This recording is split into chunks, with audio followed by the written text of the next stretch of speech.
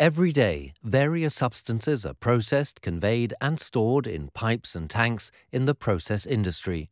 Examples include liquids such as milk, water, or oil, and gaseous substances such as natural gas or biogas.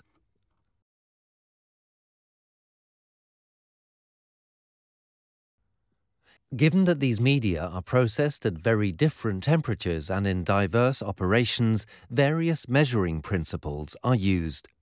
One of the most frequently used methods is resistance temperature measurement. Temperature plays an important role as a physical quantity. As early as 1742, Swedish physicist Anders Celsius defined the conditions for an international scale of temperature measurement.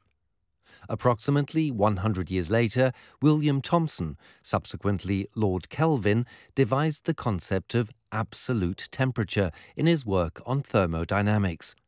The difference between two temperature values of 1 Kelvin unit and 1 degree Celsius is always equal.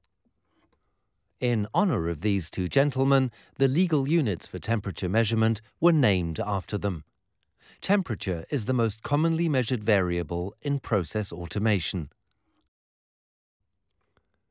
Thermometers generally consist of a thermowell, which houses a rod-shaped tube as the main element.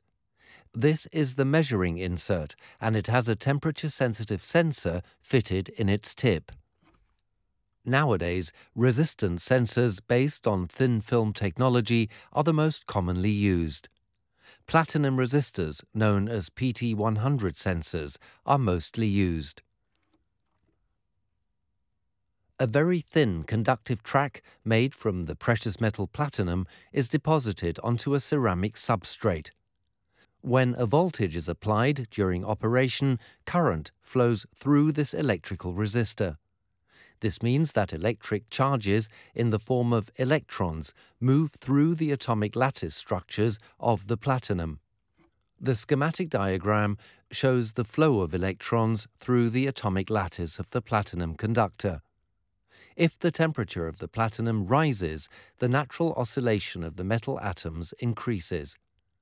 This impedes the current flow more and more, and the electrical resistance increases. A PT100 sensor has a resistance of 100 ohm exactly at 0 degrees Celsius. This value increases if the temperature rises and decreases if the temperature drops. The resistance measurement is passed on to an electronic evaluation unit known as a temperature transmitter. This converts the measured resistance value into a standardized interference-resistant output signal. This signal can be shown on a display.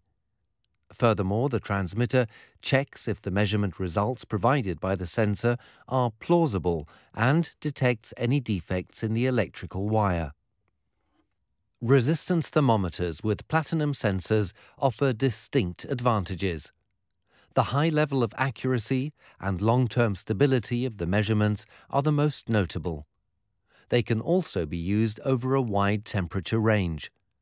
Endress and Hauser temperature measuring devices facilitate the measurement of temperatures both in standard applications and in areas of application with specific requirements, such as in hygienic processes, in installations where vibrations occur, or at high temperatures we have the appropriate solution for any application. Endress and Hauser